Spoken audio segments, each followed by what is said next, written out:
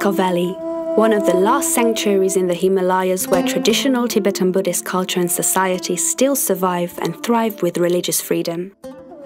Blessed with amazing natural beauty but harsh high altitude desert climate, the region has a short farming season. Zangla village, a former royal residence, at 3,800 meters above sea level, today is home to about 400 people who make their living from self-sufficient farming without the ability to produce any surplus. If Zangla gets too globalized, if Ladakh opens the Lamayuru gate or if you know the roads open and the airports get built, whatever, when it, when it does happen, I think it will be difficult to hold on to, to the heritage of Zangla. In order to utilize these emerging opportunities for the good of the community, it is quintessential for the village to raise a well-educated English-speaking generation capable of protecting their traditions. In the winter, there is no agricultural work to be done, so the kids could really concentrate on their studies. At the same time, in the region there are no heatable school buildings, apart from the solar schools, so there's a forced three month school break during the winter. This is a major loss. The Csoma's Room Foundation has been working with volunteers in the region since 2008.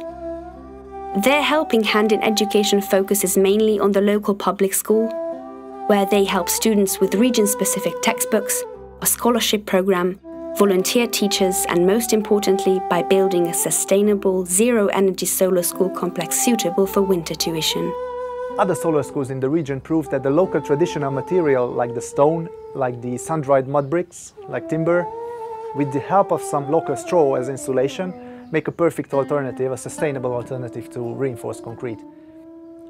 The building actually works like a, like a perfect greenhouse with a huge south-facing glass wall. Uh, we can capture the abundant energy of the sun and all the rest of the walls need proper insulation uh, to store the energy. We have completed four classrooms so far, with the help of more than 250 carefully selected volunteers and hundreds of private donors from around the world, and we keep getting great feedback from kids and teachers alike. However, for the new school complex to function properly, zero energy winter accommodation for teachers is still desperately needed. Our next goal is to extend the Solar Schools building with four well insulated rooms that could serve as suitable winter lodging.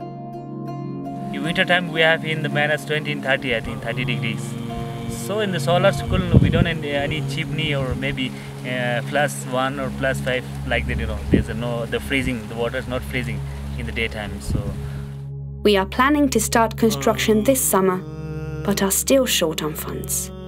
The construction work is handled by 50 enthusiastic volunteers together with local workers but to complete the project, we still need your help in buying the sufficient amount of materials like bricks, lumber, ah, stone, and insulating window glass. Please consider a donation of your choice, as your support not only helps the children of Zangla, but also plays a role in safekeeping the unique cultural heritage of the Himalayas.